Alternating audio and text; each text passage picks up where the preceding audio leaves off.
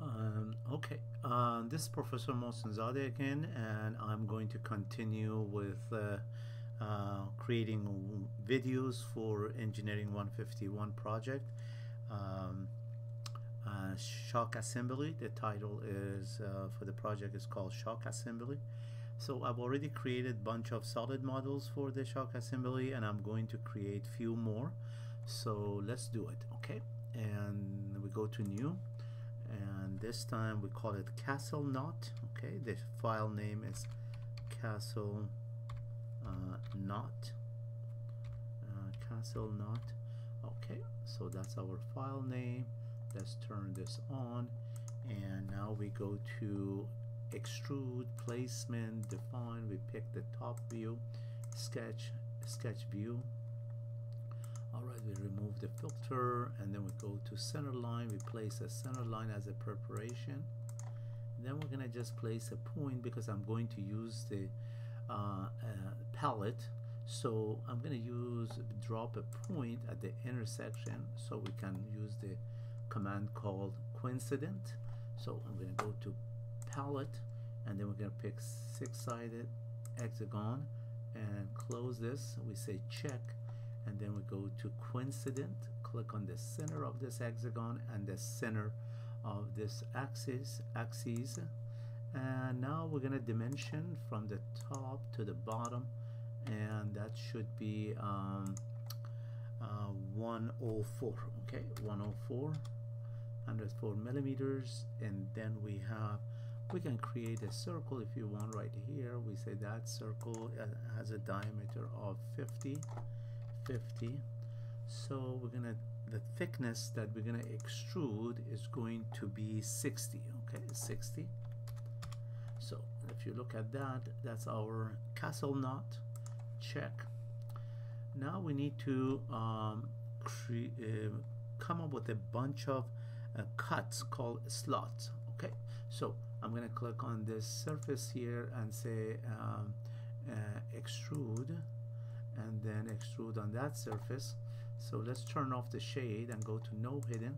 We're gonna put the reference one reference here solve and then we put a center line the center line and then along the axis. Then we're going to use a rectangle that is going to be symmetric okay symmetric.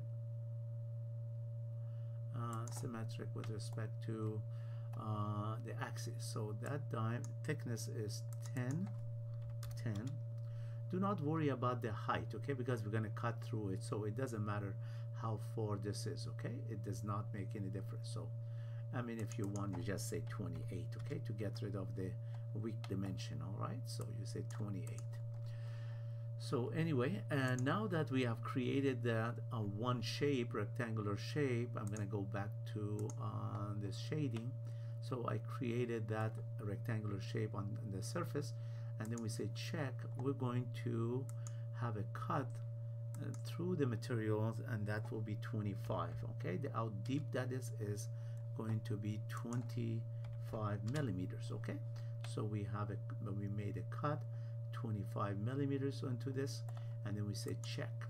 Now we're gonna revolve we're gonna pattern this not revolve pattern okay so I'm gonna click on pattern and then let me turn the axis on axis of this cylinder or this castle nut and then we go from to the axis. We have to activate the axis under dimension.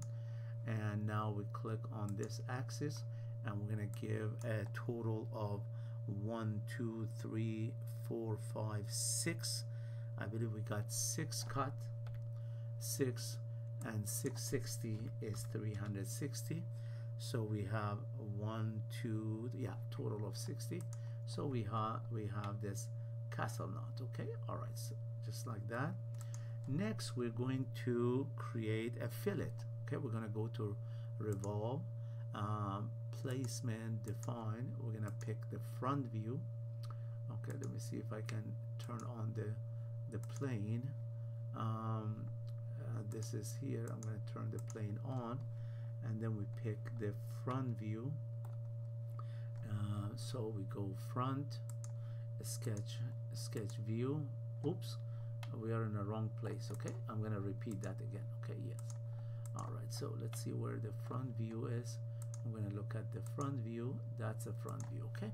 So we go placement define front sketch sketch view okay perfect.